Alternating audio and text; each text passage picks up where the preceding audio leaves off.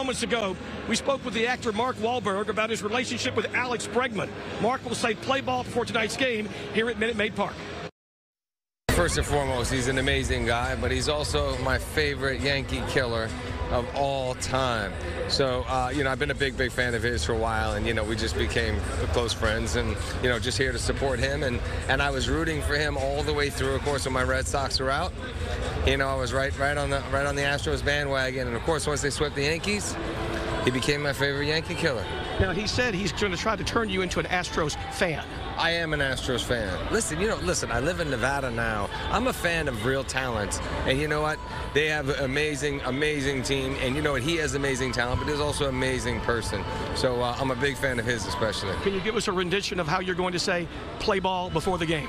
You know what? I haven't I haven't really rehearsed it yet, but it's going to have something to do with my favorite Yankee killers, and I am also willing to donate either one of my thumbs to Jose Altuve for sure. So we're all good. I am a big fan. And let me say, Mark Wahlberg has been known as a Boston Red Sox fan. And by the way, today is Alex Bregman's birthday. Covering the Astros at Minute Maid Park, Mark Berman, Fox 26 Sports.